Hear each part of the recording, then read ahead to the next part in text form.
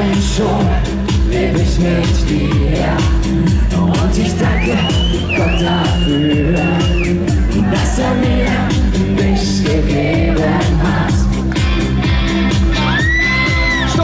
Als Erinnerung an unser Leben möchte ich dir heute etwas geben.